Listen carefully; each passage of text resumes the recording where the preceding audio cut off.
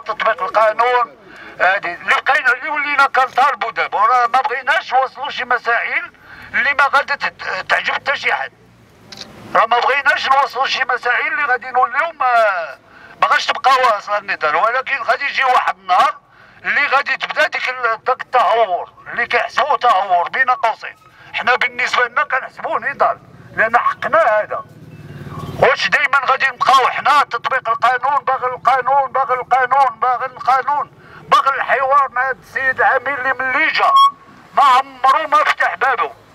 مسؤول أي مسؤول كطاق بابه مسجون تالي غادي نبقاو حنا على هذه الحالة. راه ماشي عندنا قضية ديال الاحتجاج. غادي يبقى في وقفات تجي وقف. آه شكر المناضلين ونسحب عندنا حقوق ديالنا. ما كنطالبوش شي جديد. كنطالبو كاين ظاهر يطبق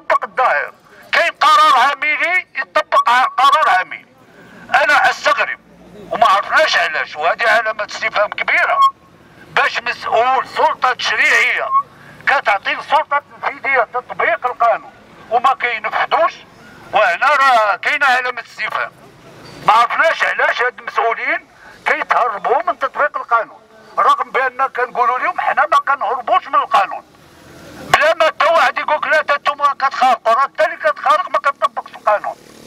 حنا كنطالبوا بتطبيق القانون كمسؤولين نقابيين اتحاديه ديال النقابات من هذا المنبر تطبيق القانون الاخوان آه الله يخليكم الشم راه نهار اللي غادي نكونوا كثرة ونهار اللي الإخوان كلهم غادي يصبحوا كيطيقوا في نفوسهم. ماشي فينا حنا.